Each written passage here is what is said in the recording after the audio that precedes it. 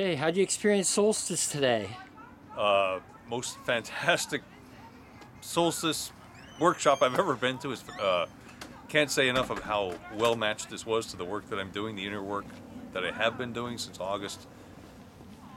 So much clearing, so much soul clearing, so much emotional clearing I've been working on, and then I get an email to come to this thing, this event, and it was just mind blowingly fantastic. Everything fell into place, total synchronicity. I will be here again. Fantastically well run, beautiful. Excellent. All right.